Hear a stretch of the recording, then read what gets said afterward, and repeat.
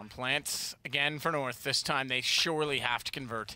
An AWP, an M4. Cajun still on a Deagle with no armor, but a man up, and he can play the bait. He can be the martyr.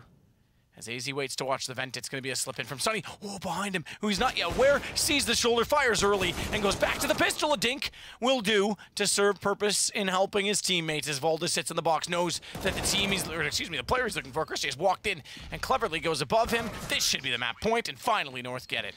Do the pistols, of course. Fast play towards a connector. valde manages to find three.